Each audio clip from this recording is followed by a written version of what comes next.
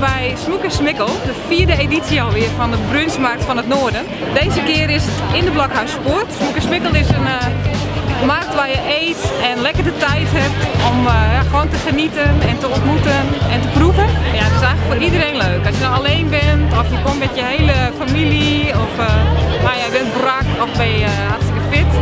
Het is gewoon lekker om rond te hangen en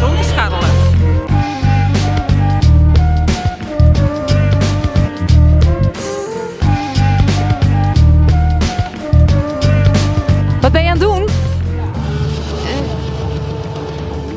Een boontje aan het planten. Een boontje?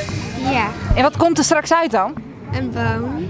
Wat hebben jullie allemaal? Heel lekker. Nou, wat dit allemaal is, weet ik eigenlijk niet. Een salade met ananas en mango, een beetje kokos. Ik moet nog proeven eigenlijk.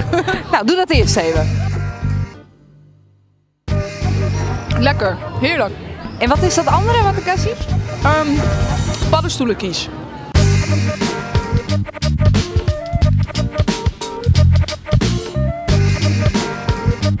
Ik ben Trientje Nauta, ik ben fotograaf. Wij fotograferen van elke Friese bakker zijn of haar oranjekoek.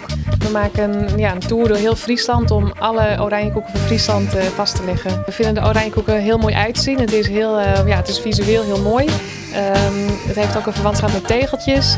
Ja, als je het van bovenaf bekijkt lijkt het net vierkante tegeltjes. Het is echt een soort van ja, Friese decoratie. En elke bakker heeft zijn eigen handschrift en dat is heel bijzonder daaraan.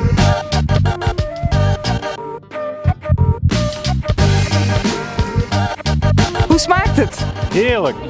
Wat heeft u? Een taco. Van? Uh, Seoul Sister. En wat zit er allemaal in? Uh, dat weet ik niet, maar het is heel erg lekker en lekkere hete saus. Dus het is een aanrader.